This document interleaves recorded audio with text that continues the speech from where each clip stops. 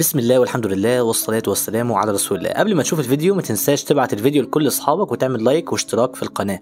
على قناتنا محمد ماهر بنقدم الشرح والحل والمراجعة مجانا من غير ولا جنيه. بنبذل مجهود جبار يا جماعة وبنحل أكتر من كتاب وبنشرح بأبسط وأفضل شرح ممكن تشوفه على النت. لو تعرف حد في أولى أو تانية أو تالتة ثانوي أو أولى أو تانية أو تالتة إعدادي لازم تبعت له القناة. بكده أنت هتساعده إن هو يتفوق في اللغة العربية ويتقنها وكمان هتساعدنا إن إحنا نكمل ونوصل لكل طالب في مصر. صلى على رسول الله عليه الصلاة والسلام. بسم الله والحمد لله والصلاة والسلام على رسول الله. الحمد لله الذي علم بالقلم علم الإنسان ما لم يعلم والصلاة والسلام على خير معلم الناس الخير. سيدنا محمد صلى الله عليه وسلم النهارده بإذن الله شباب نحل مع بعض النموذج العاشر من نماذج كتاب الامتحان مراجعة نهائية للثانوية العامة. دفعتنا الجميلة الأمورة اللي طولت معانا عشرين إيه عشرين أربعة. وعشرين لو أنت جديد في القناة متنساش تعمل اشتراك وتعمل like ولو أنت قديم في القناة خليك مشترك. بس اعمل like عشان نقدر نوصل المحتوى الهادف لكل طالب في مصر. اللهم صل وسلم على سيدنا محمد يقول إبراهيم ناجي طبعا إبراهيم ناجي مدرسة أبولو بيقول اليوم يومك في الشباب فنادي لا نوم بعده ولا شهي رقادي. إيه معنى الكلام ده؟ بيقول لك النهارده اليوم يومك في الشباب فنادي. نادي يعني إيه؟ نادي يعني قوم نادي. واحد بينادي على حد بينده على حد يعني. فقوم نادي في الشباب يعني لا نوم بعده ولا شهية رقادي يعني النهارده مفيش نوم ولا رقاد حلو. لو يعني مفيش نوم حلو خلاص من النهارده مفيش نوم. بيكلم الشباب هنا. بيقول قل الذي يبغي الصلاح لقومه بنبيل صنع أو شريف جهادي. يعني قول للشخص اللي عايز يصلح قومه بالصنع الحلو يعني بحاجة جميلة. أو الجهاد الشريف أقول له إيه بقى؟ قل له بالطب أو بالشعر أو بكليهما كل الجهود فداء هذا الوادي. بقول له بالطب أو بالشعر أو بالاتنين مع بعض كل الجهود اللي إحنا بنعملها يا جماعة فدا للوادي بتاعنا وادي النيل يعني. هنا قصده وادي النيل إحنا ممكن نضحي بكل حاجة عشانه. بيقول لا خير في قلم إذا هو لم يكن حرا طهورا كالشعاع الهادي. مفيش خير في القلم لو هو مش حر طهور طاهر يعني كالشعاع الهادي. يعني لازم القلم بتاعنا يبقى حر طاهر. يعني قصده ما يبقاش فيه قيود يعني على الكتابة. لا خير في طب إذا هو لم يزر ظلم الحياة كفرحة الأعياد. يعني بيقول مفيش خير في الطب لو هو ما زارش ظلم الحياة. يعني قصده مفيش خير في الطب لو هو قاعد آه مش بينفع المرضى. لازم الطبيب ينفع المرضى وهكذا يعني. في الآخر بيقول بيقول يا أيها الوطن الجريح وجرحه بصميم كل حشاشة وفؤادي. بيكلم الوطن الجريح بيقول الجرح ده موجود في كل قلب وكل فؤاد اللي هو القلب يعني.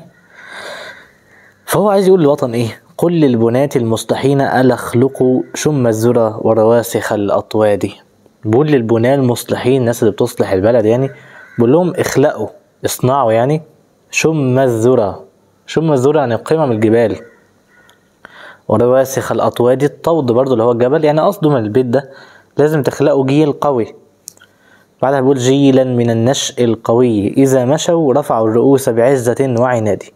نخلق جيل قوي لما يمشي بس يرفع راسه كده مش متكبر لكن بيرفعها من العزة والعناد. وليستنتج الفكرة يدعو عليها الشاعر في الإيه في الأبيات. اللهم صل وسلم على محمد. لو ركزت مع الأبيات كلها بتتكلم عن الشباب والنشء الجديد وان إحنا نخلق نشء جديد. ده اللي بيقول دعوة الأدباء إلى أن تكون أقلامهم حرة. هو ذكر فعلا الأدباء والأقلام بتاعتهم بس ده كان في سطر واحد. دي مش الفكرة العامة. اهتم مدرسة علوم من جانب الآداب ما اتكلمش على فكرة اللي هو العلوم والآداب. هو ذكر في النص كان الطب وال... والكتابة موجودين مهمين يعني. بس برضه هو قصده في الأبيات كلها أو الفكرة العامة الأبيات يعني الشباب مش الطب ولا القلم به دعوة المصلحين بس الروح الوطنية في الأمة. برضه يا ما اتكلمش عن الروح الوطنية. هو آخر بيتين آه اتكلم عن المصلحين إن هم يخلقوا جيل قوي مش يبصوا الروح الوطنية. الإجابة الصح تبقى ألف. بناء جيل قوي من الشباب. ده هدف الأبيات. حدد العبارة تدل على الوطنية الصادقة للشاعر. د لا نوم بعد ولا شهية رقادي الجملة دي معناها مش هننام. مش هننام دي ملهاش علاقة بالوطن فمش هينفع نختارها. ب جيل من نشء رفع الرؤوس. هنعمل جيل قوي رفع راسه. هنا برضو دي ملهاش علاقة بالوطن. طيب جيم اليوم يومك في الشباب. يعني النهاردة نادي في الشباب. برضو ما نتكلمش هنا عن الوطن. لو ركزت على الألف قال لك كل الجهود فداء هذا الوادي. كل جهودنا هي فدا للوادي بتاعنا اللي هو وادي النيل. فهنا طبعا بقول كل حياتنا فداء لمصر. طبعا ده مليار في المية يدل على الوطنية الصديقة للشاعر ما تصلي على النبي عليه الصلاة والسلام. استنتج المغزى الضمني في البيت السادس. هو قال في البيت السادس. يا أيها الوطن الجريح وجرحه بصميم كل حشاشة وفؤاد. بيقول الوطن بتاعنا مجروح للأسف والجرح ده موجود في كل حشاشة في كل قلب يعني. يعني مين حاسس بيه يا جماعة؟ مجلس الشعب بس مثلا ولا الرئيس؟ لا. الوطن كله حاسس كل الشعب حاسس. ألف كثرة الهموم التي يعاني منها الوطن ما اتكلمش عن كثرة الهموم هو اتكلم عن فكرة إن القلوب كلها بتحس. جيم رفض الأغنياء ما اتكلمش عن الأغنياء ولا الفقراء ب عدم قدرة ابن الوطن علاج مشكلاته ما اتكلمش برضه إن إحنا عاجزين. ما قالش إن إحنا عندنا عجز. هو قال إن كل القلوب حزينة. استنتج العاطفة المسيطرة على الشاعر وحدد عليها من الأبيات. اللهم صل وسلم وبارك على سيدنا محمد. لو بصينا على دليل السخرية من الشباب طبعا غلط ما كانش بيسخر. وجيم ما كانش حزين هو في بيت آه بيتين اتكلم إن هو يعني الوطن مجروح لكن الابيات كلها بيقول النهارده يومك يوم الشباب أنا أخلق جيل من الشباب. فكان عندنا اعتزاز بالشباب ألف الفخر والحماسة بالشباب ما كانش في عندنا الحماسة خالص. الإجابة الصح يا جماعة تبقى ب الحب وده كان واضح جدا والتعظيم برضو كان واضح جدا للشباب. بعد كده خمسة دلل على ميل الشاعر في النص إلى التشخيص كعادة شعراء أبولو. تجاوب إزاي على السؤال زي ده؟ ركز معايا إحنا في القناة عندنا مش بنجاوب لك الأسئلة وخلاص. إحنا بنعلمك إزاي تجاوب على السؤال. وركز على النقط دي وبالله عليك هات كشكول جنبك عشان عارفك بتكسل.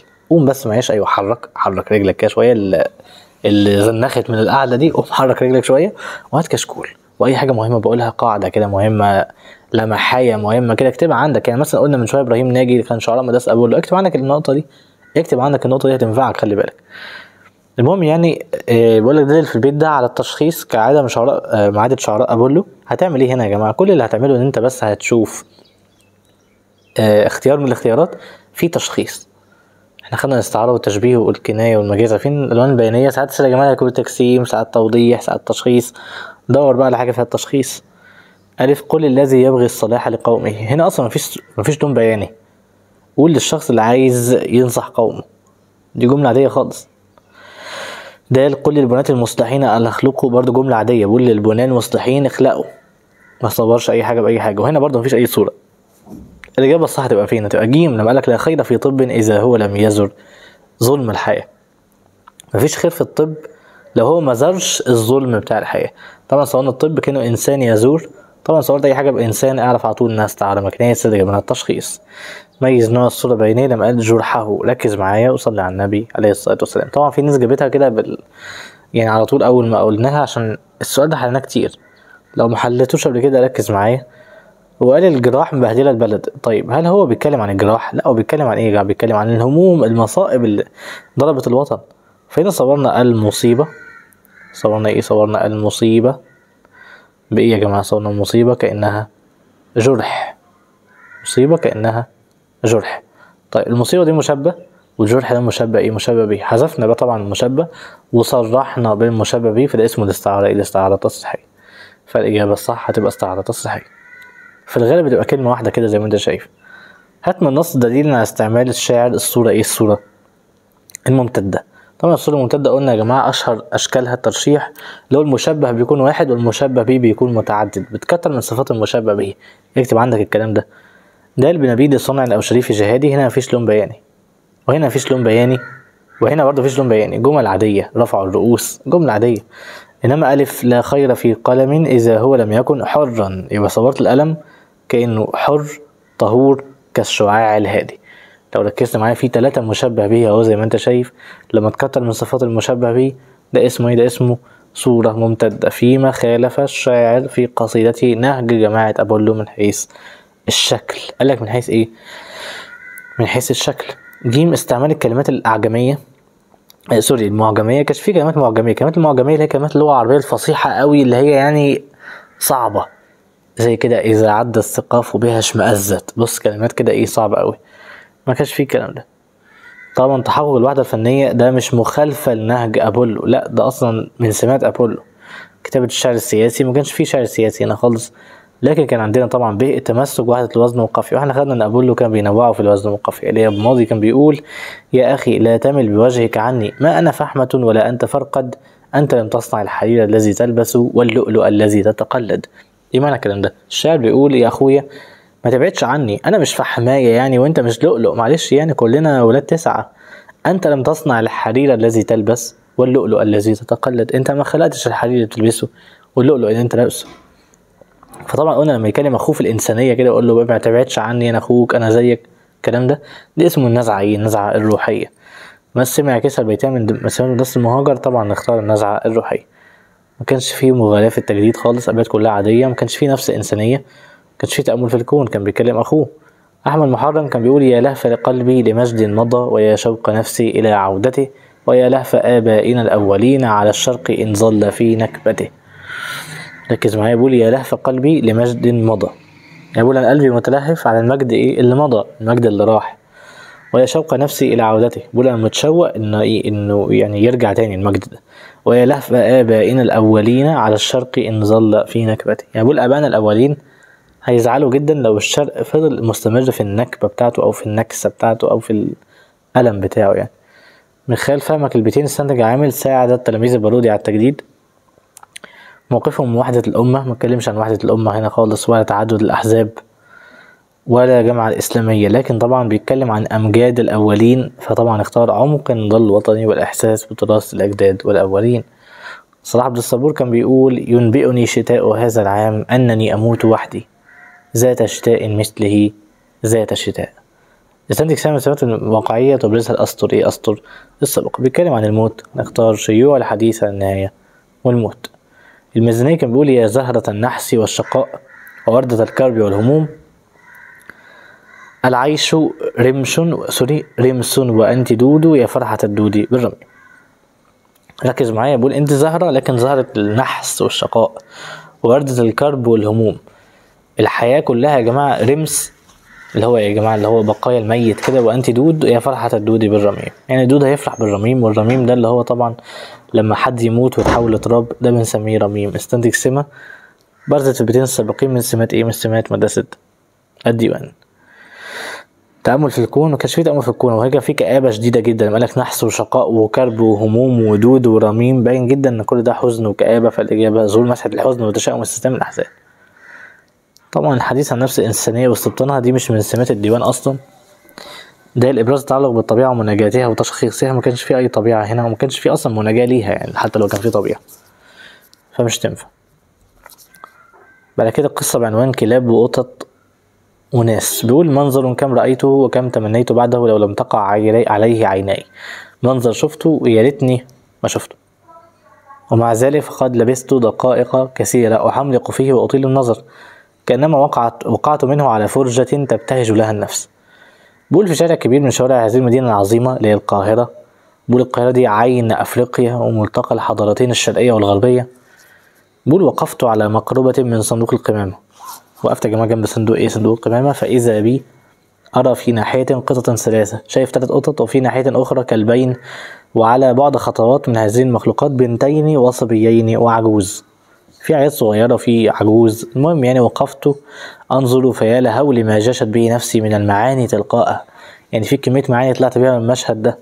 وإني أعيذك يا القارئ أن تستكثر علي استشعار الهول فيما رأيت. يعني بقول أنت يا عم القارئ يعني ما تتخضش من كمية المشاعر اللي شعرت بيها عشان أنت لو كنت مكاني كنت هتحس زيي أكتر كمان. وأن ترده إذا استغرق العاطفة يلحق بالضعف يلحق بالضعف. واللي رميتك أنا بالقسوة. يعني ما تقولش عليا إن أنا يعني آه عندي عاطفة قوي يعني أو أنا مثلا مهول الموضوع وإلا إن أنا هتهمك أنت إن أنت قاسي أصلا. بيقول راحت هذه المخلوقات الآدمي منها وغير الآدمي تنبش القمامة فتمد الكلاب والقطط أرجلها الأمامية ويمد الآدميون أكفهم. يعني القطط والكلاب راحت تاخد تاكل من الزبالة والبني آدمين حتى راحوا ياكلوا. تخيل من الجوع بيقول حتى لا تكاد تلتقي تلك الأرجل وهاتيك الأيدي كأن لا فرق بينها في شيء. يعني كله بيمد إيده كأن مفيش فرق بينهم. يعني تحس الكلب بيمد إيده مع القطة مع الإنسان. كلهم كأنهم أخوات كده. كانت القطط تقوس ظهورها وتنفش شعورها وتخطف العظام إحداها من الأخرى. فإذا أرادت أن تختطف شيئا من الكلبين دارت معركة قصيرة بين الفريقين. يعني القطة بتتخانق مع الكلاب. فإذا زجر الصبيان الكلبين والقطط في حذر وخوف. جرت القطط فتربصت على خطوتين لتعود بعد لحظة. يعني لما يتخانقوا مع بعض كده يا جماعة. القطط ترجع شوية وفي الآخر تهجم عليهم. لو كر وفر يعني هم بيهاجموا بعض. واستعلن الشر في وجه الكلبين. الكلبين باين عليهم بقى إن هم خلاص هي... هينتقموا يعني. فتركهم الزاجرون من الآدميين ومضى كل ما كان كل إلى ما كان فيه من عمل كل واحد يعني بياكل من الزبالة. وكان يفرح هؤلاء التعساء بالآدميين إذا دارت المعركة بين القطط والكلاب يعني الآدميين أو الإنسان اللي بياكل من الزبالة ده كان بيفرح أوي لما يلاقي إيه؟ لما يلاقي قطة بتتخانق مع كلب. واستمرت لحظة طويلة. ليه بقى؟ عشان هما بيتخانقوا مع بعض هيلحق هو ياكل أي حاجة. فيكبون إزاك في عجلة ونشاط في التقاط ما تنكشف عنه القمامة من بقايا العظام ولقيمات الخبز وقشور الفاكهة وما إليها قبل أن يعود فيشاركهم في التقاطها أفراد الفريقين الآخرين. المهم بيقول لنا إيه كمان وكان كل من الصبيين والبنتين والعجوز يزحم الآخر كل واحد عمال يزاحم التاني. يعني عمال يتخانقوا مع بعض ويسابقه في نبش كومة جديدة من الكناسة القمامة يعني. إذا عصر أحدهم على لقمة كبيرة نوعا ما لما حد يلاقي فيهم لقمة كبيرة بقى لاح في وجهه مثل ما يلوح في وجه الباحث يعني الذهب في أرض الذهب إذا التمع في عينيه عرق من المعدن النفيس. عارف كده لما تبقى قاعد بتنقب عن الذهب وتلاقي حتة ذهب كبيرة؟ هو ده اللي حصل بقى بالنسبة للناس دي لما يلاقوا لما يلاقوا حتة أكل. ويقذف الصبي باللقمة في حجره. بعدها بيقول ومرت بي أثناء ذلك بعض السيارات الفخمة اللي كان فيها ناس كتير ولاحظت أن عيونهم رأت ما رأت عيناي يعني شفت إن الناس دي شافوا المشهد اللي شفته ولكني لم أتبين في وجه من هاتيك الوجوه أي اختلاجة من أسف أو من رثاء يعني ما شفتش وشوشهم خالص أي حزن أو أي كآبة كده. هو عادي خالص. أجل لم أتبين لم أتبين يعني ما شفتش خالص في هؤلاء السادة عبيطا مثلي. يعني بيقول ما شفتش أي واحد عبيط زيي. طبعا هو مش بيتريق على نفسه. بس هو بيقول إيه؟ إحنا بقينا في مجتمع للأسف. أنا بالنسبة لهم بقيت راجل عبيط كده أنا واقف ببص على الناس دي. وإذ ازداد ليسائي ضعفين على أولئك التعساء. يعني زعلت مرتين أكتر. بقول ألا ليت أولئك السادة انتبهوا ففطنوا إلى أن هؤلاء ينتمون إليهم في آدميتهم. يعني ريتهم فهموا الناس اللي مشوا بالعربيات دول إن اللي قاعدين بياكلوا من الزبالة دول ناس زيهم دول بشر زيهم. وأنهم في هذا الوضع يشينون الجنس كله. يعني في الشكل اللي هم بيعملوه ده يعني يعتبر بيهينوا الجنس كله اللي هو الجنس البشري كله. يعني ثم ألا ليت أولئك السادة تذكروا أن القليل مما ينفقون في شهواتهم كفيل بأن يقضي على أمثال هذه المناظر. يعني كل واحد طلع مثلا 10 جنيه من جيبه ولا حاجة جزء صغير يعني من فلوسه. ما كناش هنشوف الألم ده يعني. بعدها بيقول آه ليت أولئك السادة حين تقع أعينهم على بنيهم وبناتهم فرحين ما يتقلبون فيه من نعمة. يذكرون أنهم رأوا بنين وبنات من تعساء الإنسانية. يعني بيقول لي يا ريتهم لما كانوا بيبصوا على عيالهم الصغيرين يفتكروا العيال الصغيرة اللي قاعدة بتاكل من الزبالة دي اللي هم إخواتهم في الإنسانية. تلتقي أيديهم الهزيلة بأرجل الكلاب والقطط في نبش صندوق القمامة. اللهم صل وسلم على سيدنا محمد. وطبعا ده يعلمنا يا جماعة إن إحنا يعني بغض النظر ايا كان مستواك لو أنت يعني بتاخد ألف جنيه في الشهر مليون جنيه في الشهر مية جنيه في الشهر عشرة جنيه في الشهر ايا كان طلع ولو واحد في المية ولو جنيه ولو نص جنيه. ما تستهونش تقول مثلا معايا مبلغ قليل. ما تعملش كده. كل واحد يا جماعة وده درس مهم تحاول تطلع اللي تقدر عليه. اللي تقدر عليه تحاول تطلعه. آه معيش فلوس تحاول تساعد اللي حواليك بأي حاجة. تشيل مع حد حاجة تقيلة تنص يعني واحد صاحبك مثلا مادة واقع فيها تذاكر معاه شوية تنصحه تديله كده ملخص مهم تقول له اتفرج على اللينك ده المستر بيشرح حاجة مهمة وهكذا. حاول دايما تنصح تساعد اللي حواليك. سيدنا محمد عليه الصلاة والسلام علمنا دايما إن الصنائع المعروف الحاجات الحلوة اللي بتعملها يعني في الخير تقي مصارع السوء بتحميك من إيه مصارع السوء يعني من أي مصيبة بتجيلك وكده إيه ربنا بينصرك. اللهم صل وسلم على سيدنا محمد. استنتج المغزى. من ذكر عبارة لما قال يا جماعة لما قال القاهرة عين أفريقيا وملتقى الحضارتين الشرقية والغربية. ركز ما بقول لك القاهرة اللي هي المفروض يعني هي عين أفريقيا وملتقى الحضارتين الشرقية والغربية بيحصل فيها الكلام ده. طبعا هو قصده يعني قصده بيتريق على القاهرة؟ لا مش بيتريق عليها. بس هو قصده يا جماعة يقول لنا اللي هو شايفين القاهرة اللي هي أصلا يعتبر أهم دولة في العالم وملتقى الشرق والغرب وإنها عين أفريقيا وأهم دولة في القارة الأفريقية كلها أو أهم يعني مدينة في القارة الأفريقية. للأسف بيحصل في بيحصل فيها اللي بيحصل. ده, ده قصده يا جماعة. يبقى ألف بيان الموقع الجغرافي المتميز لمدينة القاهرة. لا هو مش قال الجملة دي عشان يبين موقعها المتميز. إحنا مش درس جغرافيا يعني. طيب ب إظهار عظمة الحضارة المصرية الكبيرة ما كلمش عن الحضارة القديمة هو بيتكلم دلوقتي عن الواقع اللي إحنا فيه. ده تحديد المكان اللي حدثت فيه القصة. برضه يا جماعة هو مش هدفه تحديد المكان. يعني أصلا المكان ما كانش هيفرق معانا. هو بس عايز يقول لك إن هو متعجب من اللي حصل. فالإجابة الصح تبقى كيم تعجب الكاتب من حدوث ما رآه في مدينة مثل إيه؟ مثل القاهرة. حد التعبير اشتمل على استعارة مكنية. اللهم صل على محمد. ده قال لك تمد الكلاب والقطط أرجلها الأمامية. دي جملة عادية أقول لك القطة بتمد رجليها. الجملة دي كان كل من الصبيين والبنتين والعجوز يزحم الآخر. كل واحد بيزاحم التاني عشان ياكل. دي برضه جملة عادية. كانت القطط تقوس ظهورها. القطة بتقوس ظهرها كده. برضه دي جملة عادية مفيهاش أي لون بياني. الإجابة الصح تبقى ألف. استعلن الشر في وجهي الكلبين. يعني الكلبين يا جماعة ظهر فيهم الشر. طبعا ظهر الشر الشر ده حاجة معنوية.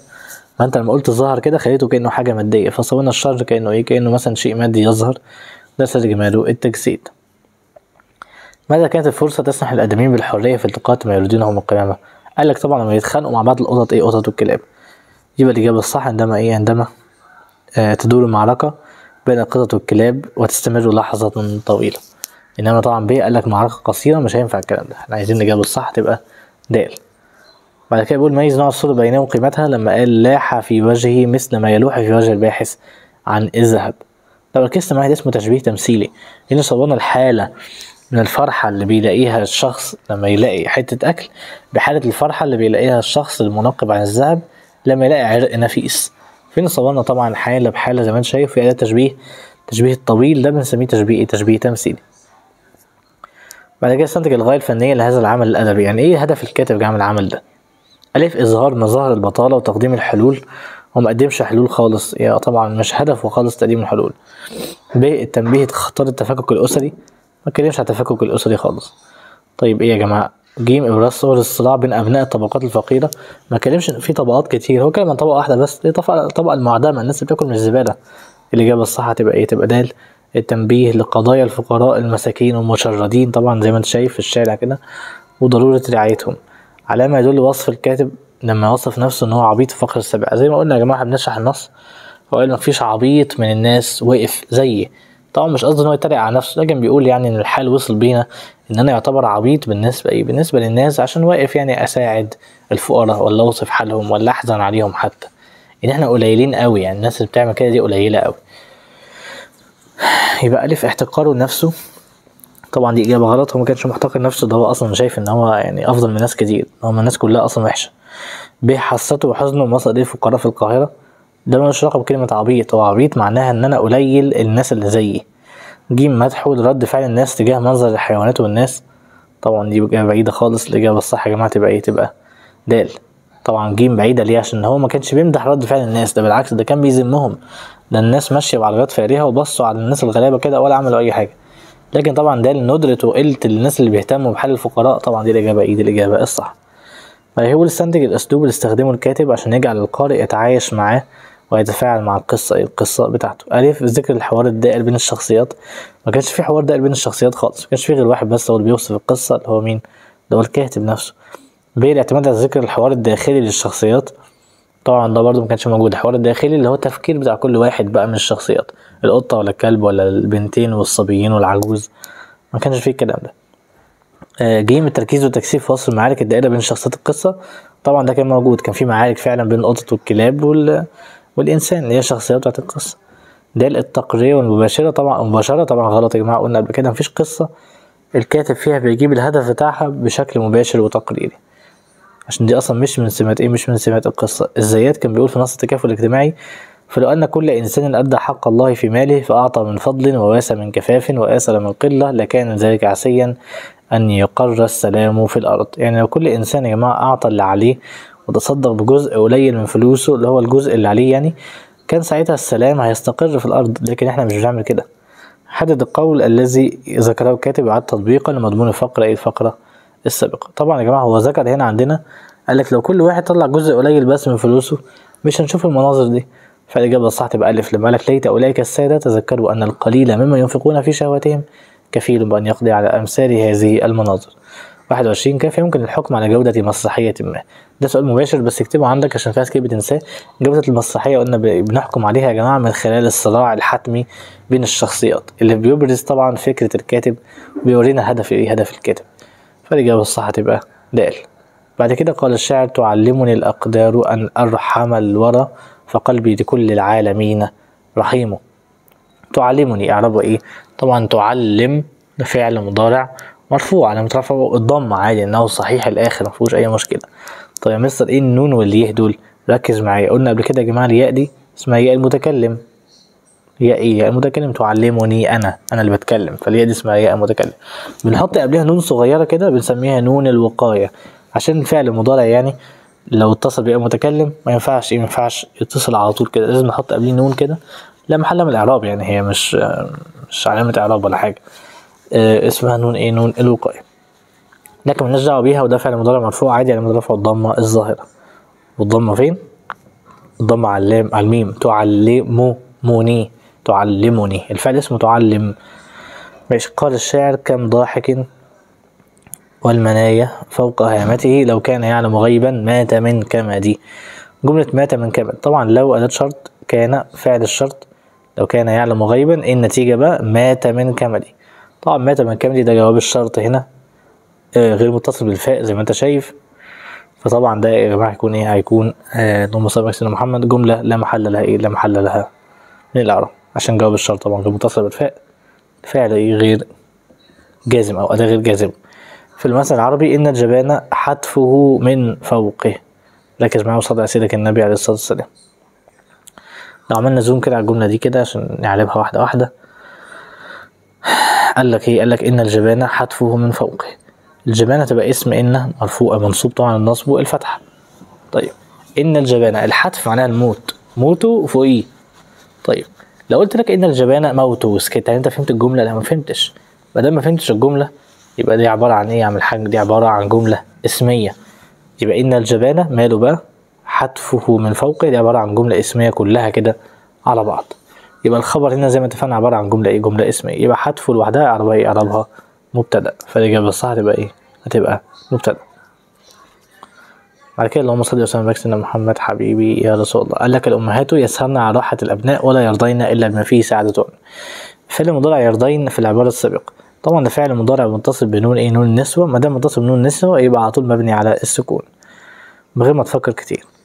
ما أروع أن يتوحد الداعون إلى نبذ العنف والكراهية؟ حول المصدر المؤول لمصدر صريح. لو يتوحد. طبعا كلمة يتوحد المصدر منها توحد زي تعلم تعلم تقدم تقدم. يبقى يتوحد المصدر منها يبقى إيه؟ يبقى توحد. فنختار طبعا إيه يا جماعة؟ نختار توحد الداعين. طب مستر محمد دي ما اخترناش توحد الداعون؟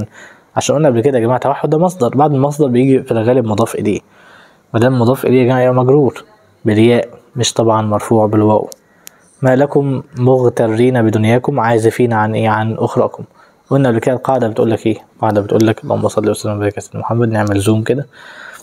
القاعدة بتقول لك لما تلاقي ما لما يجي لك ما. بعديها لام. بعدها ضمير. الكلمة بقى بعد التلاتة دول الكلمة اللي بتيجي بعد التلاتة دول بتكون إعرابها حال منصوبة. يا ما لكم مغترين بدنياكم عازفين عن أخراكم طب عازفين هنا مالها يا جماعة؟ عازفين برضو حال. إيه ده؟ هو الحال ممكن يتكرر يا مستر؟ أيوه. الحال ممكن يجي أكتر من حاجة. رأيت مثلا الولد ماشيا رائعا مبتسما.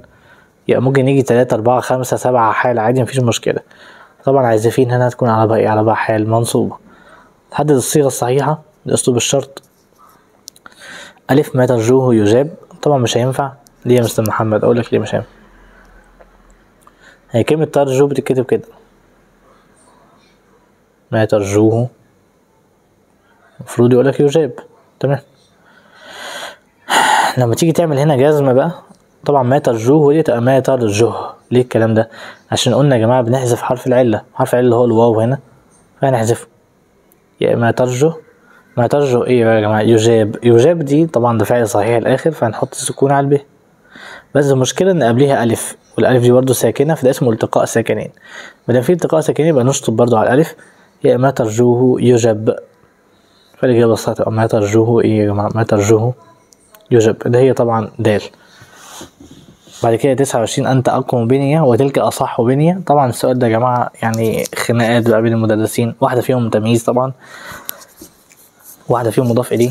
زي ما قالك أنت أقوم بنية هنا بنية طبعا إعرابها تمييز منصوب. واللي بعد تلك أصح بنية بنية هنا تبقى إعرابها مضاف إليه مجرور. عشان السؤال ده يا جماعة يعني كبير وعبيط وعايز تفصيل كده هنعمله فيديو منفصل هنسميه. هنزله بإذن الله الأسبوع ده كده. هيكون إيه عن ال- التمييز والمضاف إليه بعد اسم التفضيل عشان دي نقطة بتلخبط ناس كتير. فهنأجله دلوقتي السؤال ده عشان هنحله بالتفصيل في فيديو واحد عشان هياخد وقت طويل. لو حليناه هنا مش هناخد حقه. اللهم صل وسلم على سيدنا محمد. قال أبو العتاهية إذا ما خليلي حل في برزخ البلا فحسبي به نأيا وبعد لقائي. بين سبب نصب كلمة نأيا. اكتب عندك القاعدة دي. كلمة حسب لما يجي بعدها كلمة نكرة منصوبة بيكون عربها تمييز. لما لك حسبي علما أو حسب المرء افتخارا حسبي به نأيا. طبعا كلمة نكرة منصوبة بعد حسب دي يكون عربها إيه؟ عربها تمييز منصوب. بعد كده بت- 31 بيقول لعل من أسمى القيم الإنسانية أن تجد المحبة والإخاء يسودان بين طائف المجتمع الواحد وأطيافه. اسم الناسخ هنا فين؟ ركز معايا وصلي على سيدك النبي عليه الصلاة والسلام. قال لك لعل إيه لعل من اسمى طبعا من اسمى من حرف جر واسمى اسم مجرور. فطبعا ده شبه جملة ومستحيل شبه جملة يكون هو إيه يكون هو اسم لعل تمام؟ يبقى أنت هتستنى الحاجة اللي بتتمم معنى الجملة يا جماعة. وهي دي هتكون إيه؟ هتكون اسم لعل أو اسم الناسخ يعني. لعل من أسمى القيم الإنسانية. إيه هي أسمى القيم الإنسانية يا جماعة؟ أن تجد المحبة والإخاء. إن أنت تلاقي المحبة والخطاب والإخاء سوري. طبعا أن تجد ده عبارة عن مصدر مؤول ومصدر مؤول ينفع عادي يكون اسم ناسخ. عشان نحوله لمصدر إيه؟ مصدر الصريح. طبعا اسم الناسخ هنا هيكون إيه؟ هيكون عبارة عن أن تجد قال الشاعر ومن كلفته النفس فوق كفافها فما ينقضي حتى الممات عناؤها. حد سابق اقتران جواب الشرط بالفاء. الفاء هي متصلة إيه؟ جواب الشرط. طبعا متصلة دي عشان بعديها كلمة ما. فالإجابة تبقى جملة فعلية مسبوقة بما. قال الشاعر أشد الجهاد جهاد الهوى. وما كرم المرء إلا التقى. ركز معايا عشان نعرف ونصلي على سيدك النبي عليه الصلاة والسلام. أشد هنا عربها هي عربها مبتدأ. أشد الجهاد الجهاد طبعا مضاف إليه. أشد الجهاد إيه أشد الجهاد بقى يا جماعة؟ جهاد الهوى. كلمة جهاد التانية دي تممت معنى الكلام. ما دام تممت معنى الكلام يبقى عربها إيه؟ عربها خبر. قال لك هنا وما كرم المرأة إلا التقى. طبعا هنشطب على ما ونشطب على إلا عشان ده أسلوب ناقص منفي. يبقى كرم المرأة مين اللي كرم المرأة يا جماعة؟ إيه اللي بيكرم الإنسان دايما؟ التقى. فالتقى عربها فاعل. يبقى طبعا خبر وفاعل زي ما أنت شايف. تحترم مصر دول الجوار.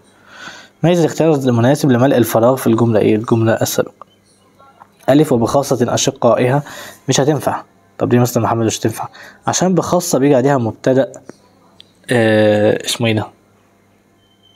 بخاصة بيجي عليها إيه نسيت والله. ثانية كده أرجع لكم تاني.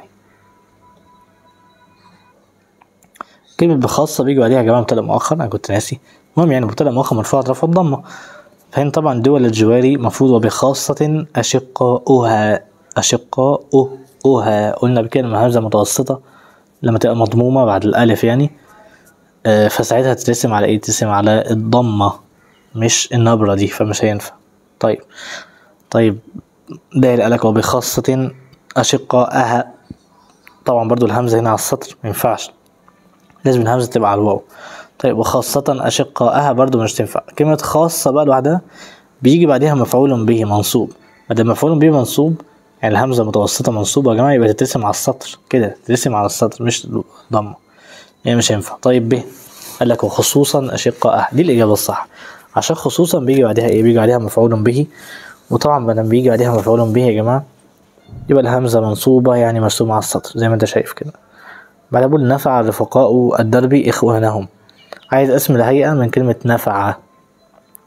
طبعا اسم هيئة بيكون عبارة عن إيه؟ بيكون عبارة عن على وزن بالفعل الثلاثي يعني بيكون على وزن فعلة طبعا نفعة هتبقى إيه؟ تبقى نفعة ونختار طبعا نفعة الأوفياء. قال الشاعر ما أزين الحلم لأصحابه وغاية الحلم تمام التقى. قال لك ما أزين الحلم يعني ما أروع الحلم. طبعا ده أسلوب إيه؟ تقول تعجب ما أفعل. طبعا ما هنا تبقى ما هي تعجبية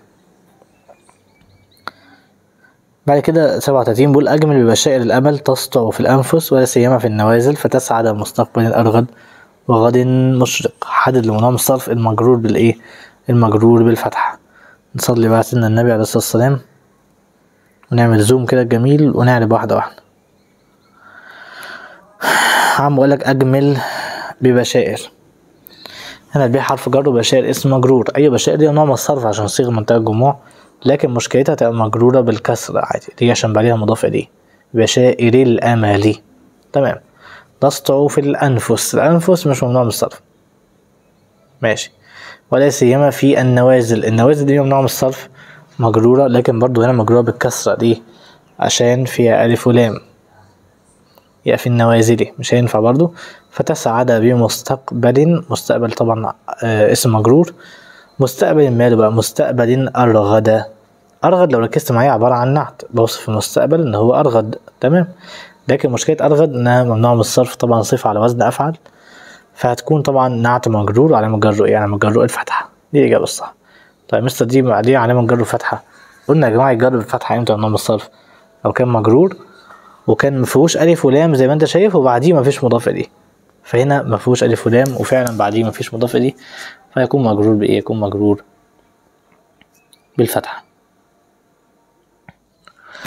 بعد كده 38 بيقول لنا للصداقة أبعاد مختلفة وروابط متنوعة. وتتكشف هذه الأبعاد تباعا في المواقف المختلفة. بيتكلم عن الصداقة. الصداقة اللي هو إيه؟ صداقة الناس مع بعض. أنت وصاحبك يعني.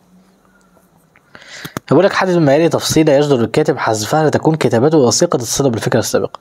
يعني واحدة من دول ملهاش علاقة بالموضوع أصلا. ألف وقت الشدة الذي تمر به ملائم جدا. عشان تكتشف مقدار صلابة الصداقة. وقت الشدة بتعرف صحابك بجد. تمام؟ دي ليها علاقة بالموضوع. فبنرجع بيها دلوقتي.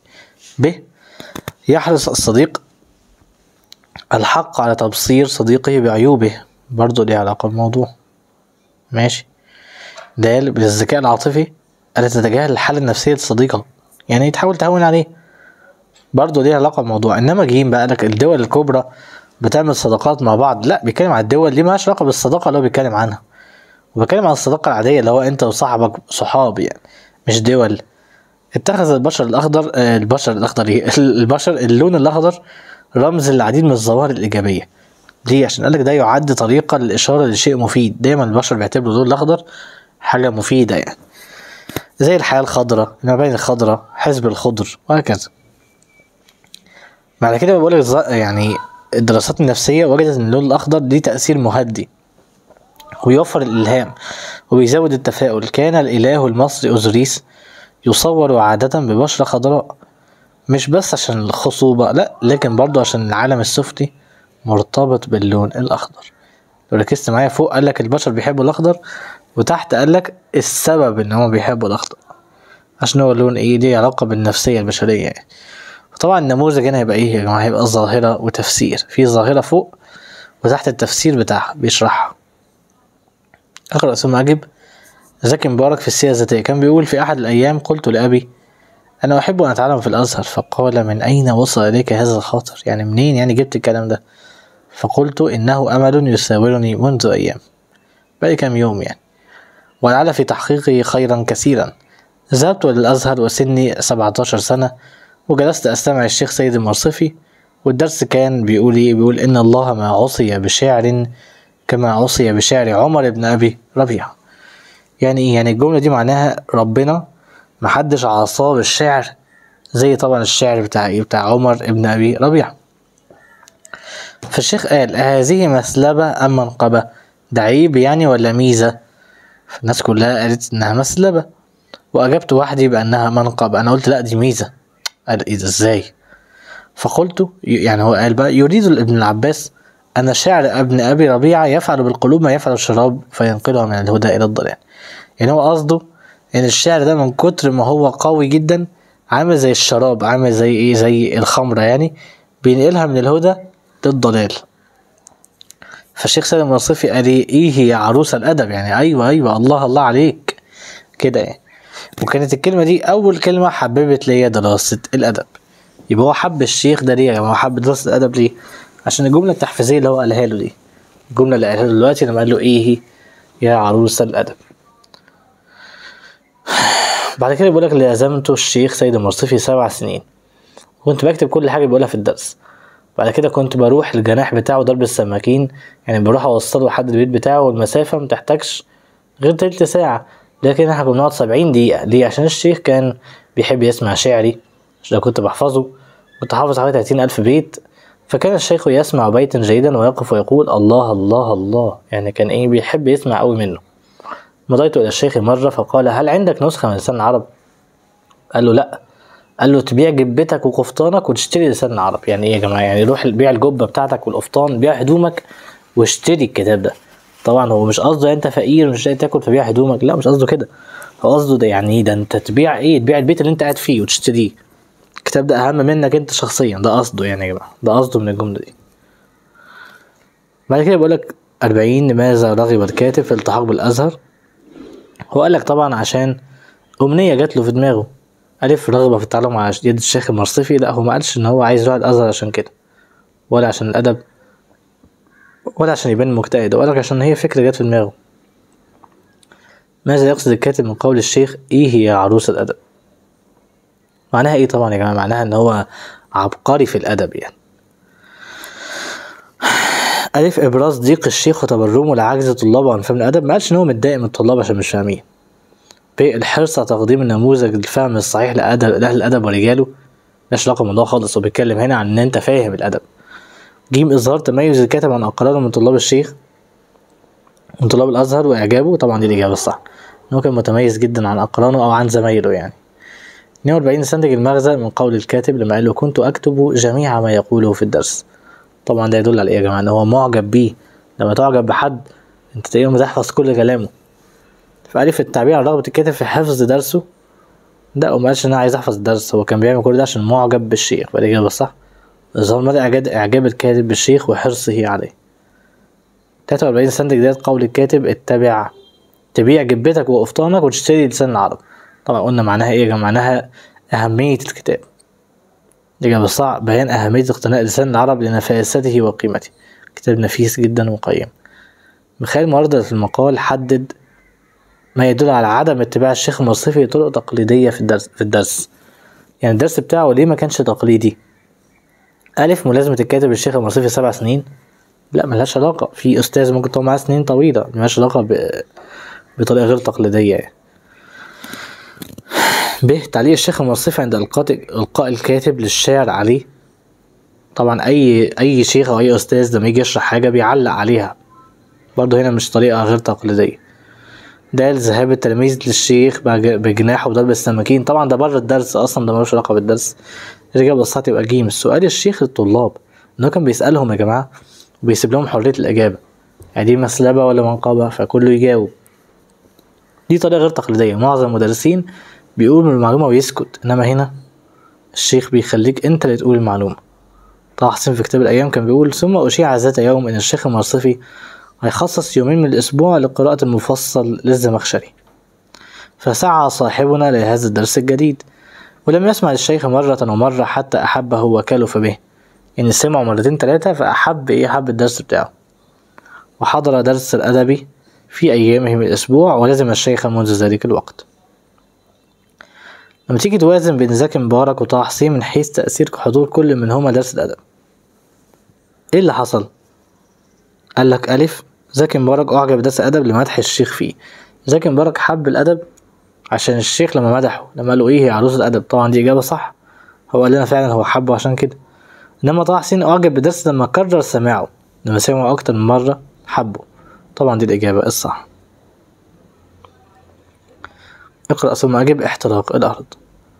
وتعد ظاهرة الاحتباس الحراري هي إحدى الظواهر الطبيعية المهمة لمساعدة الكائنات الحية في الاستمرار على وجه الأرض.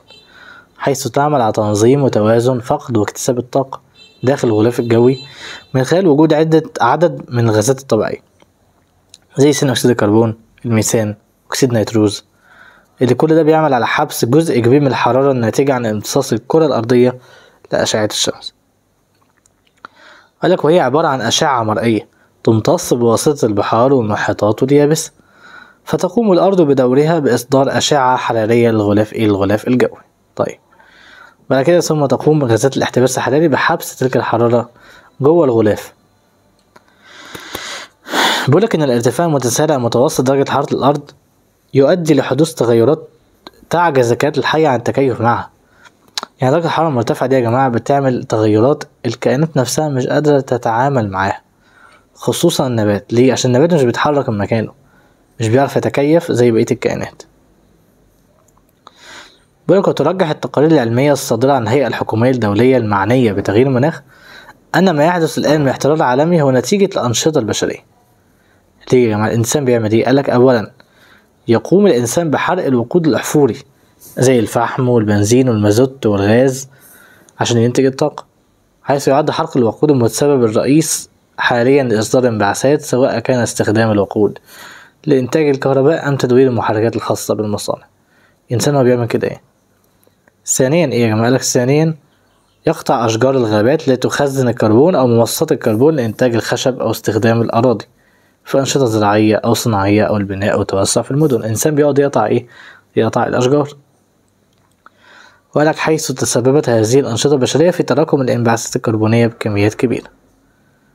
فتراكمت بالغلاف الجوي طبعا عشان الطبيعة مش قادرة تمتص كل ده. وطبعا غير كده حرق أو قطع مساحات شاسعة من أشجار الغابات إيه المقصود بالاحتباس الحراري؟ اللهم صل وسلم وبارك على سيدنا محمد. آه حبيبي يا رسول الله. قال لي سرعة امتصاص الأرض ومسطحات المائية لحرارة الشمس ده, ده مش الاحتباس الحراري. هو قال لك الأرض فعلا بتمتص بس ده مش الاحتباس. الاحتباس معناها حبس حرارة محبوسة. تنظيم وتوازن فقد واكتساب الطاقة. لا دي فايدة الاحتباس الحراري. الإجابة الصح تبقى جيم حبس الحرارة امتصتها الأرض من أشعة الشمس. سبعة وأربعين بيقول لك حدد العامل الأساسي في وجود ظاهرة الاحتباس الحراري قال لك طبعا الأنشطة البشرية ده سؤال مباشر. بعد كده حدد الجانب الإيجابي الاحتباس الحراري برضه سؤال مباشر. قال لك اكتساب وتوازن وفقد الطاقة. في الإجابة الصح يبقى العمل على تنظيم وتوازن وفقد واكتساب إيه؟ اكتساب الطاقة.